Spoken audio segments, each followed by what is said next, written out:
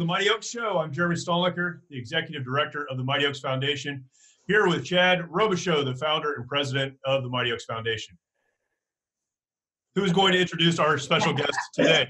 All right. Going to, yeah. and then he apparently forgot. So that's yeah, all right. Introduce our guest today. Yeah. Well, Jeremy usually does it, but I'm super pumped to do it because uh, our friend Tim Kennedy's with us, and uh, I don't think I need to give you an introduction, Tim, but I'm going to anyway uh, because hopefully we get you in front of some some new people that hadn't met you yet, and they can uh, learn about the exploits of Tim Kennedy and his uh, and his pink straw. so, well, Tim's a uh, was a top five uh, UFC fighter, uh, Ranger, sniper, Green Beret, uh, just a credible military history, and then uh, did some more stuff uh, beyond the military, uh, really in the public realm. I was on the History Channel on hunting hunting Hitler two two seasons. Uh, three. Three, three seasons. Seven. They found 27. so lots of seasons on hunting Hitler. Uh, I don't know if they found him yet, but uh, and then he was on Discovery Channel on a show called Hard to Kill, where actually people tried to murder Tim in each episode. And uh, luckily, you're still alive and with us today. And uh, so, hey, but when we, when I first met you, it was 2010, and uh, we were both sponsored by Ranger Up, which is a company you've been involved with for a long time, and we were fighting in Strikeforce. And then really cool, we had an after fight party together. I remember being so excited because I was already a fan of you before we were friends. And then I, and then I fought in the same car with you and had this after fight party. It was supposed to be epic. And then it was kind of bittersweet because I won my fight and you lost a fight that I thought you won uh, to Jacare. and we, so that was when we first we first met. And uh, yeah, that was that was a rough night. yeah. yeah, I was trying to be happy and celebrate, but you know, we had uh, Toby Nunn there crying because it was your match. Toby's always crying, man. He's always crying, that guy. Man, I've been on hunts with him, and he starts crying. I was like, problem. "Why are you crying?" okay. Yeah. yeah. but a lot's changed in your, your life since uh, 2010. You've uh, you've really amassed uh, a, a, lot of uh, popularity and status, and you know people will love all the stuff that you do and and uh but and i think there's probably a million probably podcasts out there that would really talk about like your big fights and and uh, a lot of different things in your life, hunting, hunting Hitler, and, and hard to kill. But I want to go a little bit further back and and really talk about like how you became, you know, Tim Kennedy. Which I, I know your dad, Mike. Uh, you come from an amazing family. Your dad's a, a amazing hero to this country, and just really what shaped your life into coming, how you grew up, what brought you to join the military, special forces, and and really what shaped you as a child. yeah, I mean, I I, uh, I, I find it funny now where like celebrity or I, I was just hanging out with the family. Um, I just got back from a deployment overseas and I've um, got to spend the weekend with my family for the first time in a minute. And we're going around, and you know, people come up and say, "Hey, Tim," know, they're like shaking. They want to take photos of me and you know you, you see you've been amassing this popularity of late i haven't done anything different ever. I'm too old i'm too hairy i'm too scarred i'm too dumb to change. So i just keep doing the same things and now i just I, I find it ironic that we are moving circularly back to a beginning where people are appreciating hard work resilience a relentless attitude um, that being damaged and broken doesn't mean that you're a failure. You know it just means that you've lived a lot of life. Um, and that's uh, I, I, think that's kind of where our origin starts, and mine does is uh, is my home with a bunch of pretty incredible people and role models to look up to. Yeah. What were some of those influences? You come to a place now where you know it is about not being a victim, not uh, allowing people to call you a victim, personal responsibility, and those things. Uh, what we learn often is that some of the things that damage us happen in youth but also some of the principles that build the character in us that allows us to perform as adults also begins in youth.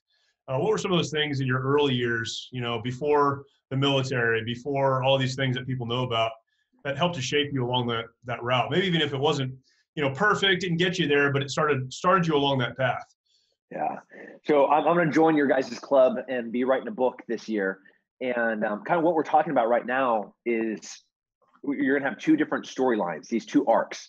The first arc is me being an absolute moron, time and time again, failing, um, getting crushed, losing, getting blown up. Um, like I, I the, the the the dumb things that I did throughout my life.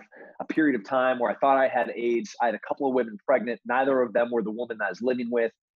Um, And that is one storyline, one arc of all of these things that ultimately should have broken a normal person. Hmm. But tied to the current timeline of what I am doing now and the things that I did in my military career and the things that I did in my fighting career, fighting for world titles, going overseas multiple times, earning medals medals for valor. Those things are directly tied to the times that I'm I'm taking off my clothes in Morro Bay, California, and I'm walking next to the right side of the rock, just on the north side, and I'm gonna swim out to the fog because I don't know what else I'm gonna do because um, everything else in my life has gone wrong. Crashed my motorcycle. My one of my heroes, my grandpa, just died. Um, I think I have AIDS. Um, I just lost my professional debut. There's two women that are pregnant in my life, and they're both telling me I'm the father. Um, you know, like that is, and yeah. I'm going to go for a swim into the fog. Mm-hmm. You know, and then uh, fast forward ten years, and I'm and I'm and I'm running into the fog, the brownout of a helicopter. Uh, towards the sound of gunfire. You know, it's um like I can't give you enough examples of the times that I failed as a youth. Um, so we'll we'll talk about my my heroes. Uh, first and foremost is my dad and my brother. Yeah, um, they're both just amazing. Love you guys. Let me drink out my pink straw again. Make me so proud. Yeah, Mike, yeah, Mike, Mike's incredible. He is.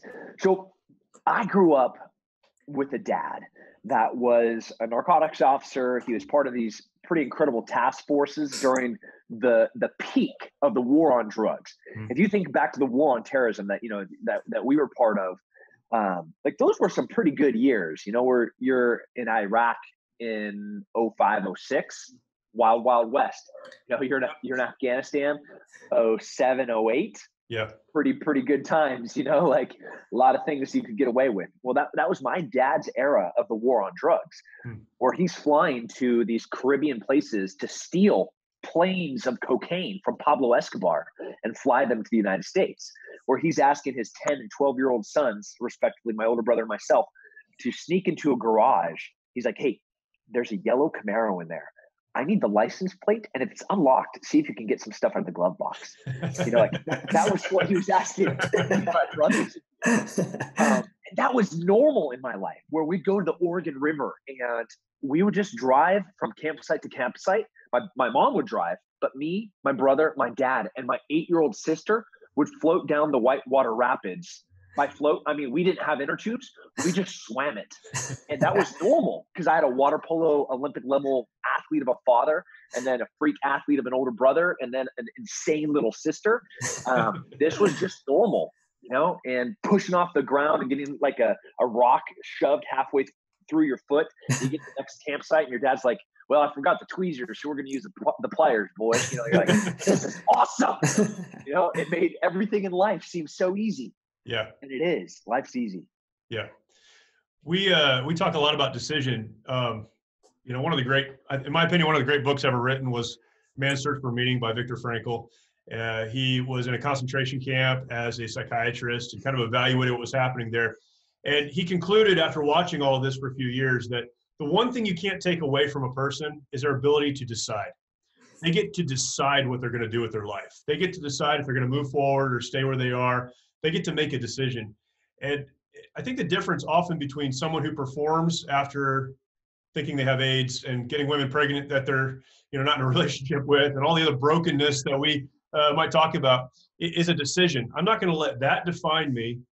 I'm going to decide to do something important. Where, where were those decision points in your life? Maybe some some times where you said I had to decide that I was going to move forward instead of fall back. Yeah. Um, there's so many.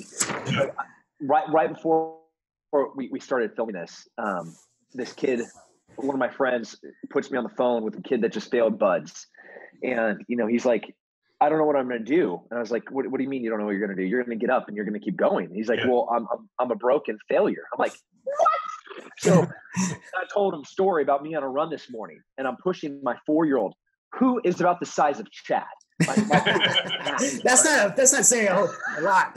A, a really four year old.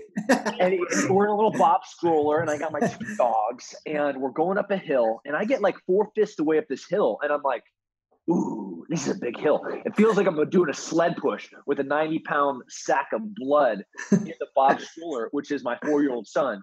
And I get, and I, and I have to walk the last fifth of the hill. And I tell this kid, I was like, do you want, I just failed a run this morning. Imagine that. I have my son sitting there looking at me and I can't even make it up a hill. So does that mean I'm broken? Does that mean I'm a failure? Or does that give me an opportunity to come back tomorrow and do that same hill and be a little bit faster, be a little bit stronger, a little bit, a little bit harder to kill? And that's what all of those instances of my life have been where when that Coast Guard boat rolled up to me in Morro Bay, California, and that captain looked down at me and he says, hey boy that that water looks pretty cold. I'm like that's not a nice thing to say to make a naked dude swimming in cold water. Um, but yeah man i'm pretty cold and i don't know which way, way the shore is because i'd swam so far out of that fog. Um, you know and he gives me a, choice. He gives me an option. He gives me a deciding point of hey do you want to come up here um, or you want to figure this out? And i was like if I get up there, can I have a blanket to cover up what's going on right now? And uh, gave me a blanket. But whether it's like ranger school where I'm in an ambush line and it's in the middle of winter, it's December. We're about to start an ambush. I'm freezing, I'm shaking, and my, my tiny little frozen pecker is just like vibrating off that frozen ground. I'm behind a 240, waiting for those two for the Humvees to roll by so we can do this ambush. And the dude next to me just stands up and he walks down to the road. He's like, Rangers, I'm done. I quit.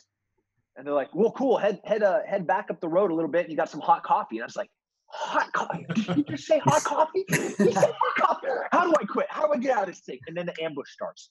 You know, like it was almost that the decision point was taken from me, but I was either a little bit too dumb or a little bit too tough to know how to quit. And that, you know, went on to become the honor graduate of Ranger School to um, go back to my special forces unit and go to an even more elite team. Um, and you know, sometimes you you got to make a bunch of tiny little decisions that put you in a position to not fail, right. where that decision point's almost made for you. And that's what I keep doing is, man, I just keep trying to do the right thing 99% of the time. Sometimes I've made mistakes, clearly, but sometimes I'm just like, I don't have any other option besides to jump out of this aircraft or to pull that trigger because that's the right thing to do because I've done everything right so far. Yeah. You just keep moving forward one step at a time. And you, right. you see you see that in, in combat, right? In, in life and in court, these tough courses. And as a fighter, I, I know, if, you know, I don't have to have been in your shoes to know that that's probably been a moment in the fight where you sit on that bench between rounds and you're like, I don't know if I don't know if I want to go back out for the second, but you just something about that you're not gonna stay on that bench. You're not gonna pull a Yoel Romero and stay an extra. you're gonna get back out there and do it again. But it's yeah, it's it's, it's something you have to overcome, right? Yeah, there, there's there's two. I mean, Yoel Romero is a great example of that. You know, like I was infamous through my whole entire fight career. You did not want to go into deep water with me because the second, third round, fourth round, fifth round, I'm going to come out there just as mean as I was the first round and the second round. The Yoel, Yoel Romero fight was a unique one because um, I beat him up the second round. I came out there even meaner than I did the first round. But then at the end of the second round, when I thought I had won, I thought you just pointed out he quit. he quit, but more importantly, I quit. Yeah. I had left the arena. I was already celebrating my victory. So then when I went back out there, I was like, oh, what is going on? Oh, wait, I got to go. It's because I, I, missed an opportunity, a decision point to make the right decision, which was sit there on that bench, look across that cage at that coward that is trying to cheat, mm. and know that I'm going to go back out there with the same tenacity that I have for the last 10 minutes. Right. Uh, you know, and and you know, people look at that moment in my career and there's like that would have put you in the that would have put you in a fight against Michael Bisping to beat him again to become the middleweight champion. For sure, cool. I don't care. You know, I I, I failed in that moment, but it gave me an opportunity to grow to become an, uh, hopefully an even better person yeah. in the other areas of my life. Incredible life lesson. Yeah. Yeah. What uh what is that said, I sure would have liked to get that fight. uh, we all know he quit. Yeah. we see it. So uh this is something that I know you're passionate about, and we are as well. And uh, I know Chad wanted to elaborate on this a little bit, but um, the idea of victimhood amongst veterans. Uh, we served, and I, uh, you know, my story. I left the Marine Corps and didn't look back for 10 years. 10 years later, realized a lot of the guys that I had served with were, were hurting pretty bad. Some had taken their lives, some had been killed in combat, some were just struggling, and understood I had a responsibility to go back and, you know, kind of bring those guys forward and, and do what I could to, to help in that way. Uh, but what I've realized along the way, and Chad and I have talked about this a lot. We see this often, and I, I know that you have as well. Is this this victimization of veterans, and sometimes it's because the world, our culture, our society creates victims out of veterans, but a lot of times because veterans wear this mantle of of victimhood, and they've decided that what they did somewhere else was awesome, but but now they're a victim. Now people owe them and that's that's kind of the opposite of what you're talking about, right? No one owes you anything. And if anything, there's a responsibility that goes along with having served your country. Yeah. Yeah. Um, we should put an exclamation mark after like no that nobody owes you anything. Nobody owes you Like, anything. No, no, no, definitely not the army because the army is going to always do one thing. The military is going to always do one thing. They're going to take. That's they're they're, to they're going to create something and they're going to try to use it to the end. Um, and when you rose you when you raised your hand and you swore to protect the Constitution, foreign, domestic, when you said this is I volunteer to do this job, whether it's an airborne ranger, a marine, scout, sniper, or a green beret, um, they didn't promise you a lot. I mean, they didn't even promise you food, and they definitely didn't promise you a place to sleep. Right. I mean, if anything, they, they told you you weren't going to get those. things, Right. Right. You know, they didn't promise success. They didn't. They didn't promise valor. They didn't promise courage. They caught. They promised pain. They promised suffering. They promised. They promised failure. They knew that you're going to fail at times, and so I don't know where the origin of this victim entitlement came from for the military, and it is it is a disease, and it has spread rampantly.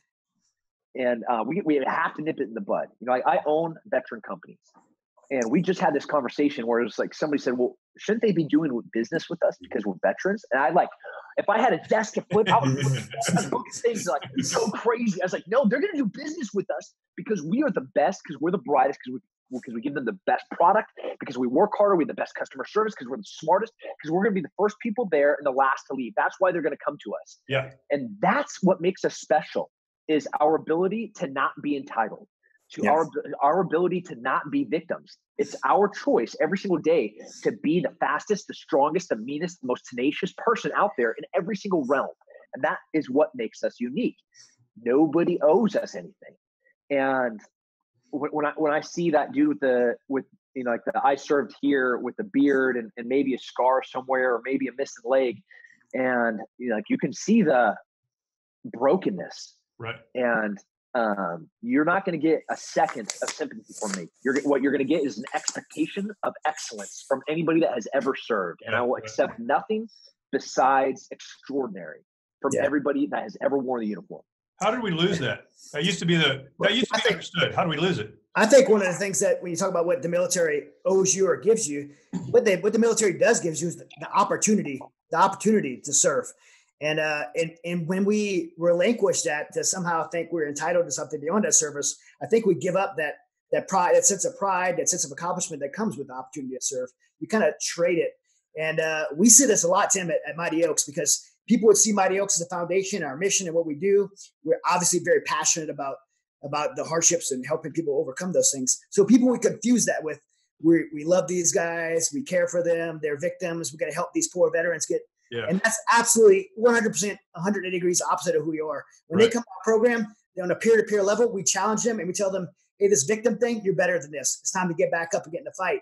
And it, it shocks a lot of guys because they've been exposed to so many other people in this country who love them and mean well, but have coddled them and we call them hug a vet programs. And uh, And, and uh, what, do we, what do we do?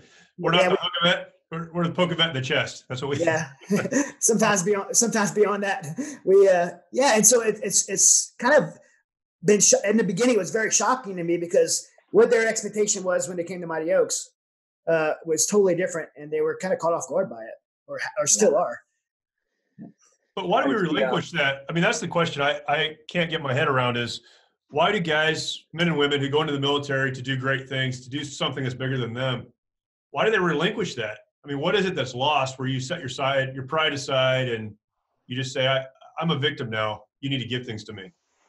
Yeah, it's, it's it's a really weird thing about human nature. You know, um, a really wise man said that you know once once you can once somebody can get something from free by voting for it, you, they they never need to work again. Sure. And it's it's kind of the same with any form of entitlement, where Yeah. when somebody has to struggle and somebody has pain and suffering through everything to find success, and then they learn that they can get something for free, that they can be broken, they can be victims, and and that there might be an easy an easier solution Right. um, to get to be comfortable. They forget what it means to be. I don't want to use the word savage.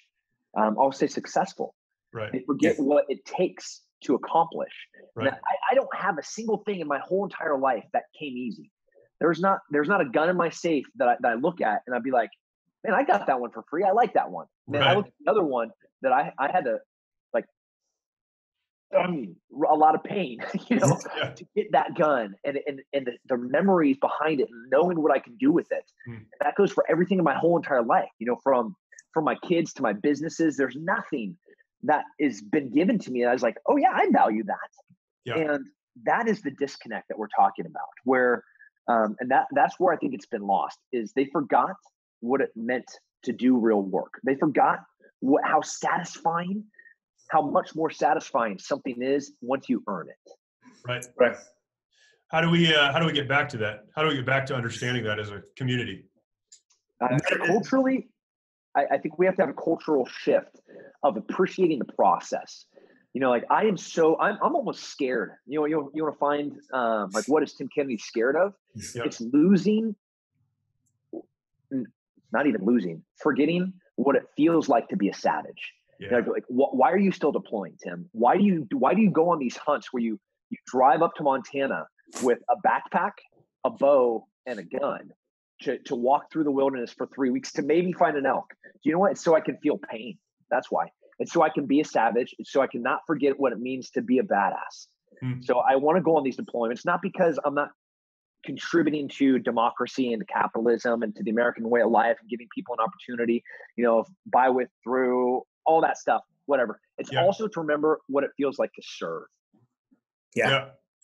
Yeah, the service part of it is something that uh, is lost. I think as a veteran community, though, uh, we've almost incentive incentivized people to um, to walk away from To that. quit. To quit. To Yeah, quit. Yeah, to quit.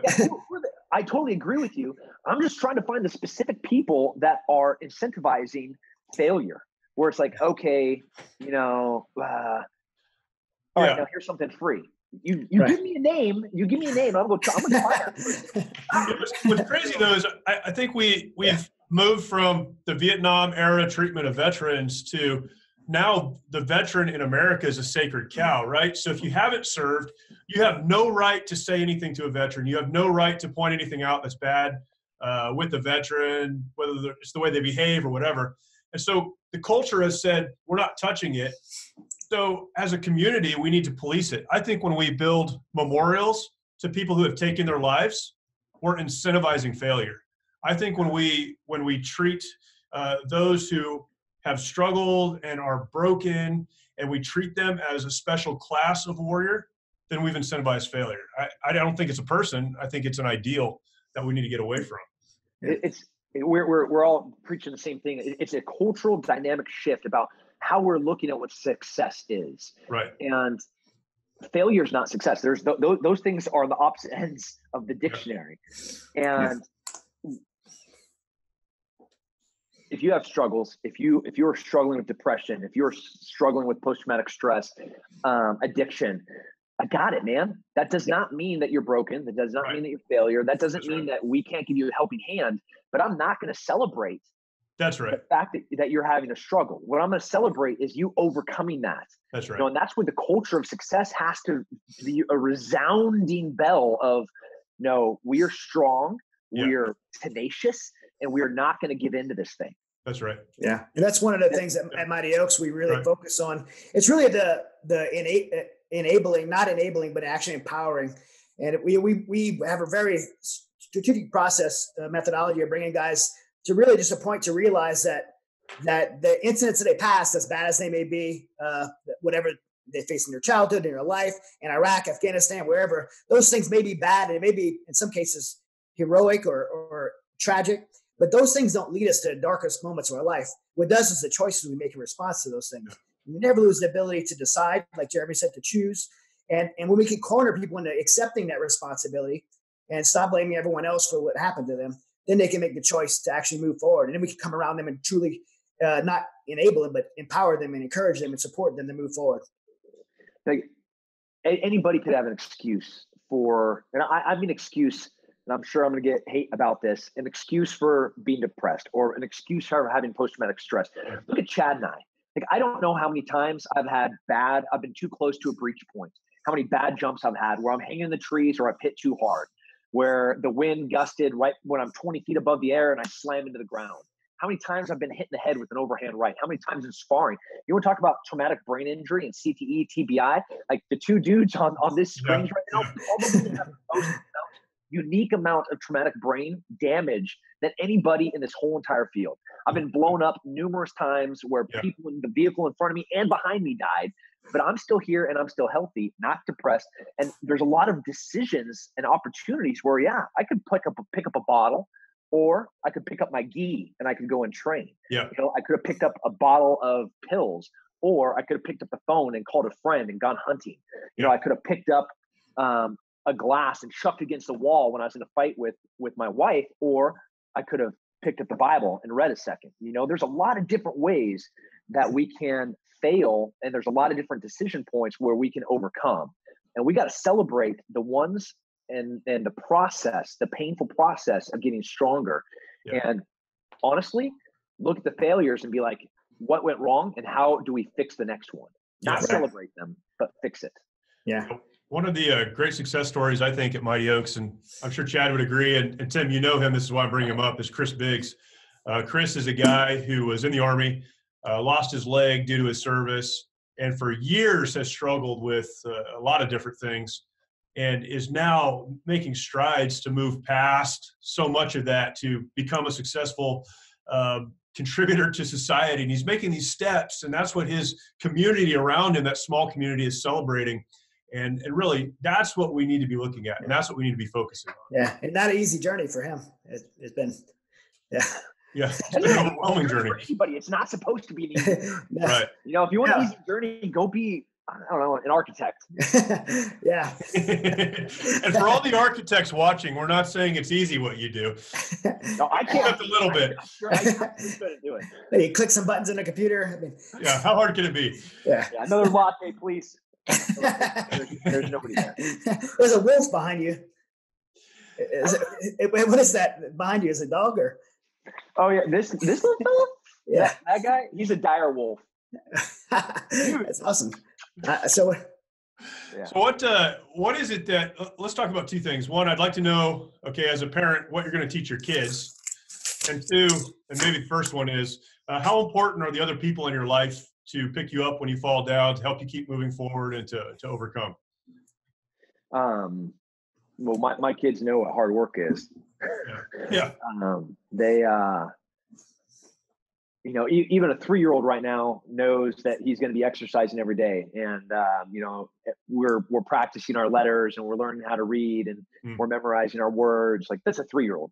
Yeah. You know, my my teenagers are, you know, at 16, um, decision points, right? What colleges are we going to? Right. What jobs are we going to have that are setting us up for what careers we're going down?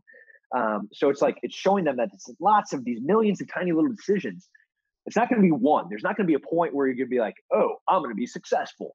It's yeah. going to be just countless millions upon millions, if not billions, of tiny decisions yep. that are ultimately setting you up for success. And that's what I try to drive home is like you have to make every single one of them right. You know, every single time that you get up to go to school, whether you're having a test, a quiz, um, a reading, every one of those days is going to contribute cumulatively to the end. And that grade, that GPA, and that SAT, those are going to tell you what schools you can get in. Right. And of those schools, you're going to get it. so it just goes on and on and on from a three year old to a 16 year old. Um, you know, and the people I surround myself with, uh, I think that has more to do with my success than anything. Um, so I just got inducted into the Sports Hall of Fame by Arnold Schwarzenegger um, at this last Arnold Classic. And right, I was I was actually typing kind of the my thank induction speech, and the thing that was the clearest about this, I don't know, this thing that I'm writing um, is all of the people around me. Right. You know, pe- people like Chad and people like Mike Glover and people like Nick Palmisano, um, you know, Shane Steiner, like my, my close kind of friends, the people that I, I consider people that influence me, um, they are extraordinary. Like they are just amazing people. Right. They're not perfect. You know, Chad Short, um, kind of kind of trollishy. Yeah. Um, Good chimpanzee. Gosh. yeah, yeah. You know, Nick is, is sometimes built kind of uh, like a bowling ball. Um, Shane is faster and stronger and smarter than me in, in pretty much everything. But they they don't, you know, Nick and Shane, they they they don't let me get away with anything ever. My dad, my brother, um, they are honest with me first and foremost about everything. And um, like I don't want anybody that would pander to my ego. I don't want anybody that would, for a second, give me an untruthful answer because that's what they think I want to hear. right. Um, and anybody that would do that isn't a friend. Mm. And what has been really painfully clear in the past year is the people that I thought were friends, the people that were telling me the things I wanted to hear. Um, ultimately, they were ones that were trying to steal from me or they were ones that were going to stab me in the back or use me as as um, a jumping off point for something that they wanted. Yep. You know, it, it it was really just the ones that were sometimes jerks. Yeah. Uh, the ones that said really painful things to Yeah. me. The ones where I was like, "What? You're not going to talk to me like that." I was like, "Oh, but you are because you're a real friend." Yeah, that's right. Yeah. Right. My tribe is now a pretty t- tight knit, powerful tribe. Yeah, it's so funny you say that because, uh, I mean, I, I think back as you're talking, I think back of the lowest moment in my life. Was it, you know, Afghanistan or at the moment of a tra- traumatic situation or or a crisis in my life? The lowest point in my life was when I realized that I had surrounded myself with people that told me everything I wanted to hear and not what Yeah. not what I needed to hear. I had systematically pushed all accountability out, out of my life, and that's that was the absolute rock bottom point in my life. And there's just so much so much truth and so much power in what you just said because unless we could allow those people in our life that could tell us those difficult things, that could challenge us and call us out when we need to be called out, Mhm. we're never going to have that accountability that we need to be able to move forward in life. Yeah, we kind of have this idea that it's a Lone Ranger kind of thing. Like I, I'm the one that needs to do it, but real men are not men who walk alone. They're men who have friends around them who can really help them keep moving forward. Yeah, man, like I don't, I don't, I'm thank, thank God. Um, I don't know right now if I could do something wrong without three or four people being at my house in a matter of minutes. Like, let's say um, I'm at the gym training, and and the places that I tra- train at are really popular, and lots of people come through the doors, and there's tons of beautiful women. Let's just say I went up and I talked to one of those beautiful girls, flirt, flirt, flirtatiously. Man, I bet it would take about a na- nanosecond for my three friends to be Yeah. pulling me by my ear and scuffing me up in the bathroom. right. You know, Yeah. um, like I haven't had a drink of of hard liquor in in in a in a in a few years. Not because there's anything wrong with it, and I, I respect people that appreciate you know a fine American bourbon. That's totally fine. Um, I know that I've made a bunch of bad decisions when I've been drunk, and Right. I've um, and I've been looking at what's been happening in the special operations community where guys have been doing dumb things while they've been drinking from a green beret getting strangled by a couple of navy seals to to a green beret trying to smuggle in 90 pounds of coke um, and being like you know what i'm just not going to do it if i'm traveling i'm just not going to touch it Yeah. not, not that i've ever had a problem with it just because i just think it's better not to Yeah. but i bet if i picked up a bottle and i poured a shot even if I was trying to be sneaky in the closet, it would take a matter of minutes before Shane or Nick were at my door being like, what's going on right now? you okay? You, you okay? yeah. yeah. That's good, man. It's a good place to be. It's a really good Yeah. place to be. That's awesome. Do you think one of those bad decisions that you made was the whole army thing, or is that not something you consider a bad? decision? Yeah, man, me coming to the army was. I a was just curious. Yeah, um, I looked at the Marines, um, but uh, I didn't want to do it. Yeah. No, I um, I like I like using crowns to write things. It's Yeah. okay to be. It's okay to be afraid. I know you have this big persona and stuff, but it's all right. We all have our limit. I, I I uh, I do. Can I tell a Marine story? Please. Go ahead. All right. So in 2006, I was part of a task force that was in Iraq trying to kill Zarqawi. He was a really, really bad dude, and um, and we went on a half mission, a helicopter assault force, and we had a couple follow-on targets, and we are getting near the sunrise, and uh, 160th didn't want to come pick us up. The the special operations aviation wing, Yeah. was like, hey, we we got shot up when we came to land, and then when we came to provide you some air cover, we got shot up again. Two of our birds are down, and sunrise is coming, so uh, we can't come get you. And we're So- like, Sorry. so that sucks. So you know, we get up and and uh, we figure out that the closest friendly anything is this tiny little fob that's being run by a, uh, this rifleman company. And the scariest moment I've ever had in all of my deployments, I mean, even more so than being blown up and being in a three day gunfight, losing some friends, was walking up to a Marine base at four o'clock in the morning and hearing a private's voice ring out, "Stop, or I'm going to shoot you." um, well, they fought. They, they let us in grace graciously, and um, you know, we I fell asleep on on I don't even know what this device was. Um, it was a marine something. Um, it was I, I think it was a T ration. Um. Probably was. I woke up with this with this kid's poncho liner all over me and a rucksack underneath my head. And um, you know, we we had been in a couple of gunfights that night. We had three or four follow-on targets. We'd been walking through the Iraq desert for you know four hours after our last target to get Yeah. to this base. And um, these kids had nothing. Like they, they had been eating T rations and they'd been blowing up every single day that they'd been in this thing. And you know, we're we're a, ta- a special operations task force, um, a specialized unit within special forces. And you know, like we have protein powder, we have weights, we have Olymp- Olympic weightlifting equipment. You know, we have like pallets of porn, and these guys had jugs of water that they were using to do their that they had filled with sand or cement um, that they were using to do their Yeah. exercises. Right. And um, and I asked their commander, I was like, "Hey, can um can we bring you guys some stuff for letting us stay here?" And he looks me right in the face. He says, "No." It's like, I I mean, I'm, I'm talking like protein powder, maybe some weights, Right. you know, Right. some some TVs. You know, he's like, I don't want anything. Right right now, every single one of these Marines in here is is ready to to go to war, and we're at war every single day, and they need to remember they're at war.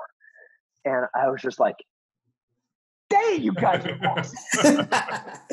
But he was right. Like they had everything that they needed to Sure. do their jobs, and they didn't need anything else. Yeah. Yeah. Um, and I argue, and I, I would argue that they might have been more elite than this extra elite special operations unit on a special operations task force trying to find this number one bad guy in all of Iraq. Um, and they were just a bunch of, you know, infantry riflemen in the middle of the desert. Yeah. It's amazing. That's awesome. Yeah. What a great story. Yeah, it's funny. I don't know if, you, as I told you, Tim, but my son Hunter is uh he's deploying right now. He's uh he's uh with Third ANGLICO and he's uh assigned to the Georgians and he's going in a, a little four man Marine uh, FIC team, and so they're in Germany doing their last. I think today or tomorrow is their last training uh, day of their training ex final training exercise before they move over to Afghanistan. And he's telling me these same things. Like they're uh, pretty much their command the commander has cut off cutting them off from everything and try to transition them to deployment lifestyle. And uh, so he was trying to call in and whining to me, and I was kind of explaining the same, you know, same process. It's like they, you know, you have to be mentally like just dialed in to be, you know, to transition from the comforts of life into being in, in deployed, and being stuck on a fob for the next eight months because that's what life's going to be. It's pretty, it's pretty neat. It, not neat, I tell you, it's it's been very proud, but it's also been a kind of a struggle for me.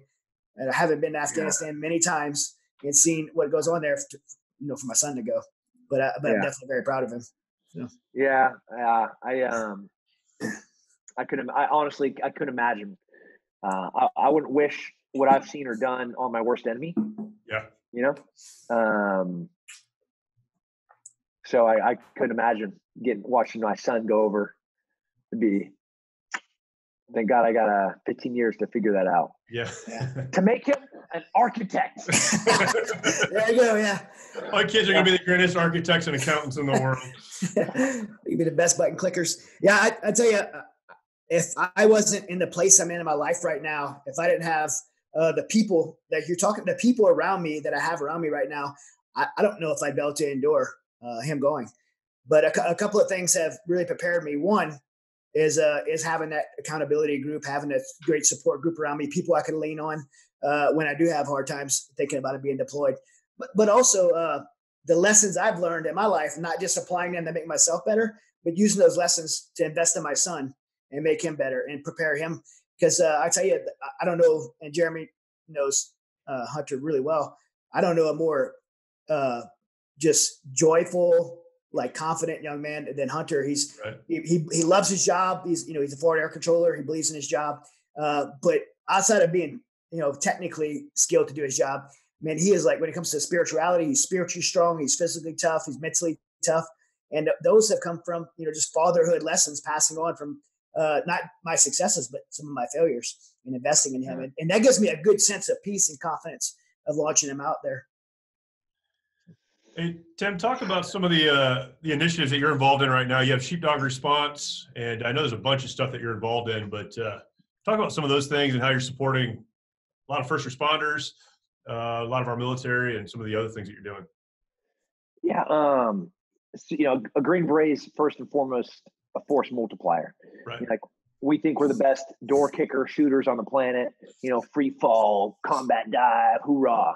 Um, but you know what what we're supposed to be is ambassadors, warrior ambassadors that can go into a country and train an indigenous force to stand up for themselves. Right. Um, and it's been real painful to you know be 15 years in special operations and to see the things that I saw in Iraq in 0506 start happening here at home and how ill prepared we were as a nation, both as a society right. and as um, and as a law enforcement first responder EMS.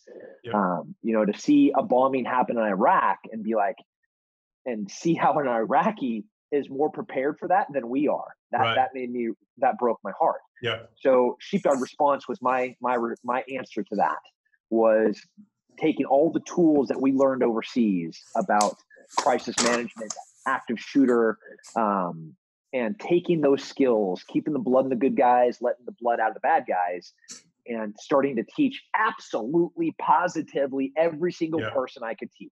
Like, I don't care who you are, I don't care what your job is. You know, I don't care if you're an accountant or an architect. you need to come to my course. Yeah, absolutely. You're going to be at the Boston Marathon yep. because you're going to be at a nightclub dancing and somebody's going to walk in and not like the people that dance there. You're going to be at a Christmas party and they're going to come in and start shooting you. You're going to be, you know, at a mosque or a church or a whatever. Yep. And we as a society, we, we just got to grow up. We have been so blessed from 1945 to about 1998 where we had a really good spell of just a few bad things happening. Yeah. You know, and then things started happening. Right and uh, and you know it's a a really trag tragic circular event where you know weak men make bad times and you know mm-hmm. bad times make hard men and then hard ta- hard yeah, men make yeah. good times yeah and good times make weak men and weak men make hard times hmm. well we we had really good times for like 70 years and now we've had some hard times and um and and we are now getting hard men again. I hope. Yeah. Yeah. And uh, and I'm trying to get this idea of being not toxic masculinity because that's not what this is. This right. is empowerment of somebody that can protect and provide the preservation yeah. of human life. Are you seeing more of an interest in that? It seems like there is more of a, a concern and interest in uh, in learning. It's crazy. Yeah. Um, I wish I had 70 more instructors. You know, we, yeah. we're running one or two courses a month and they're sold out. Like we have a course in two weeks here in Austin, and we doubled down where we had two courses in one week, and both of them like they're sold out. And I, I'm yeah. trying to get extra instructors. Yeah, yeah. They're, good problems for a business, but it's bad problems when you're trying to get a message out. And you know, like, while it is business, it's more importantly an an, an idea of being ready to protect. Yeah, yeah, that's right. Uh, what are some of the other uh, veterans initiatives that you're involved with? Some maybe some, some, groups that you support, some things that you're involved in. I know there's a bunch of stuff you do that no one hears about, which uh, which I think is funny because you have a big personality and everybody knows about your stuff, but there's also a bunch of stuff nobody knows about that you're involved in. Yeah, the um, can you guys still hear me? Yep. Yeah, got you. Yeah. Ranger Up is a is an apparel company I've been with for a long time. Um, we just launched a a, a news network called the Bad News Network. And it's it's a little satire. Yeah. But I, I, it's been so frustrating to see the polarization in American society where nobody just has a, an honest perspective on what is happening in yeah, the United right. States. Like everybody has an agenda, whether it's CNN, NBC, Fox, you know, everybody, and I, they're not even denying it anymore. Right. So That's the right. Bad News Network is us just talking about the news in like the most calloused, not heartless, because we really care about the things we're talking about, but like, hey, here's what happened, and this is what it means. Yeah. Yeah. And uh, you know, like, Ranger Up is something I'm real proud of because of all the other things that we do. You know, with with Hope helped a lot of different people from Mighty Oaks to Team Rubicon to the Gallant Few. You know, we, we we're vigilant supporters of lots of different nonprofits and and veteran organizations. Um, Whoopee Shoes is another one of my my business ventures. Um, you know, we just make shoes made by special operations guys, but we're an all veteran owned company. Yeah. Um, you know, the uh, I just think the most important thing that I'm trying to do right now is positively affect people to to get out and do and not to be scared and not to be victims, not to be entitled to to just do. You know, I got new TV shows coming out in the middle of writing a book, but none of that stuff matters because the things that I'm passionate about are, you know, making making us as a culture and a society uh, meet our potential. Yeah, that's right. That's awesome, man. In, in this uh in the sheepdog response training, um, just from what do you incorporate, you know, the personal responsibility in scenario based? Like, I, I'm just kind of curious about how that applies. Like, when we work with what we talked about earlier, per, assuming personal responsibility and in tactics and survival and uh, crisis scenarios. What's the aspect of personal responsibility in this? Yeah. So I think the the most we, we have it's kind of sad, but we have attrition. So people pay to come to these courses, right? And they don't come the second day or the third day. Um, and it's because we make it like this is not one of those, hey, that was great shooting, dude. That was really fantastic work. Man, you ran super fast. Like those are not the things that happen here. What we do is we show them what they should be doing and everything else is pain. Remember in SERE school, like they don't tell you they, they ask you a question and then they hit you and they hit you because you did something wrong. Um, there's no explanation about why they hit you, but they know that you did something wrong. You may or may not know if you did something wrong, but you ultimately got hit. Uh, that is kind of the process of sheepdog response, where there's pain, there's struggle, and what we make it so obvious and evident is that we're you're not going to get good at the things that we're trying to show you in two days, in three days. That's not going to happen. What we're going to do is we're going to show you a path. We're going to show you an avenue. We're going to show you a route that you can get better if you dedicate yourself to it. That you're going to have millions of little decisions: what you're going to eat, how much you're going to sleep, if you're going to you know get along with your partner um, how often you're going to shoot, what ammo you're going to use, what how often you're going to carry, what gun you're going to carry, what sights you're going to carry. All these millions of tiny little decisions are going to contribute to that moment where you have to fight for your life. And uh, in that moment, what you do is not going to matter. What's going to matter is all the things leading up to that moment. Like how often have you trained? How much did you sleep? Um, how mentally ready are you there f- for that moment? You know, where if you're sitting in Boston watching your spouse run a marathon and you watch a dude take a backpack off and set it down and it goes off and everybody starts screaming, are you, you got a tourniquet in your bag? Are you ready to go? Yeah. yeah the personal responsibility is preparation and, and being ready. Always be ready. yeah. Yeah. Hey, if uh, people want to follow you and keep up with you, uh, where do they need to go? Well, you cannot keep up with me. You can try, but you will die trying. but uh, everything for me is like the same. It's Tim Kennedy MMA. Instagram, Twitter, Facebook, all the shenanigans. Um, like my caveat is, like I want one of those disclaimers where it's like, do not try these things at home, boys and girls, because you will die. Um, this is conducted by a truly hairy idiot that should be dead. Don't do this. Um, besides the workouts, do the workouts, you know, follow the diet. Um, but if you see me set myself on fire and jump on an airplane, don't do that. Yeah. Right. Or, or, it may be entertaining, but it's not recommended. or pass or pass out from hypothermia. I saw that one. Yeah, yeah, don't do those. Yeah, Bad that- decisions. yeah. Terrible. Yeah. Well, hey, I I, uh, I I just realized that I talked about two of your fights, and they're both fights you lost. So I gotta I can't close on that. We gotta. What's your favorite win? I mean, I think my my favorite win uh, was the one time I didn't finish the guy. It was a, it was a my only decision win, and it was because it was a, just a battle. That was my favorite win. Uh, so uh, you got to have one like that too, right? Yeah, yeah. I'm gonna totally go against you here. I'm gonna talk about my famous, my famous and most favorite loss. Okay. Um, I had an amateur record of 30 fights before I turned pro. Wow. And um, the first fight that I turned pro, okay, nobody touched me as an amateur. I beat everybody. And the dude I fought, I had just beaten three weeks prior. And my first, my pro debut, I lost. I got throttled. Big, huge cut, um, TKO stop, uh, stoppage by the doctor. And um, that's, that, was, that was Tim Kennedy, who went on to be top 10 in the world for almost 10 years, my pro debut. Um, uh, that's my favorite fight.